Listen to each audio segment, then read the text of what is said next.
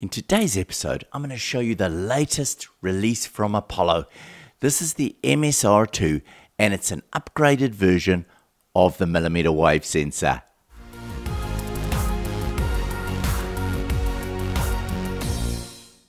So having a look at the MSR2, it's using the same millimeter wave sensor, the LD2410, but it is even smaller this time and I'll show you just now next to the original one what the size difference is.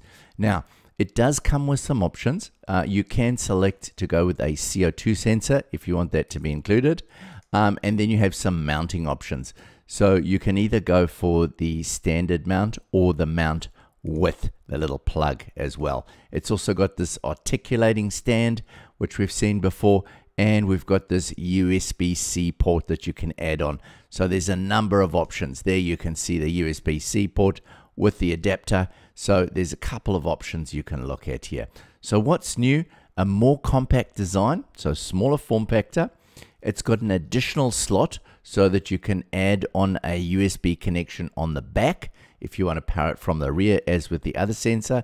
And they've also changed, um, updated the sensors. So they've changed the pressure sensor for improved accuracy apparently. So we'll so having a look at our MSR2, it is significantly smaller than the MSR1 and only slightly bit thicker. So this is quite incredible how they've managed to fit everything in here. If we look at the back, you've got a new type of casing. This is a effectively clips off here with three different, well, four different inserts that basically hold it in on the sides. Now, if we look at the device itself, inside here, obviously we've got our millimeter wave sensor that clips on there. Um, then having a look at this device, we've got our, starting from over here, we've got our little uh, tune or buzzer. We've got our USB port, we've got our ESP, we've got an RGB LED, and we've got this port over here for the CO2 to come in.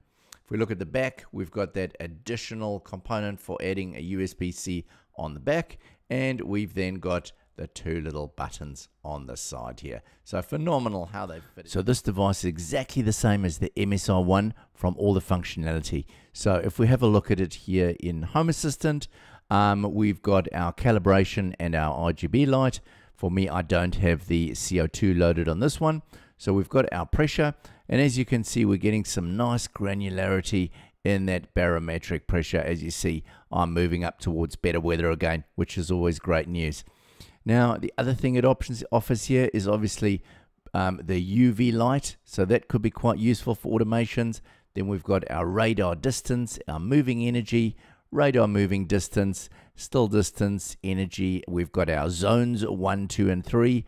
And then down the bottom here, we can actually set all of our thresholds and we can change the distance for each of the zones as well. So lots of functionality on this operating ESP Home all local.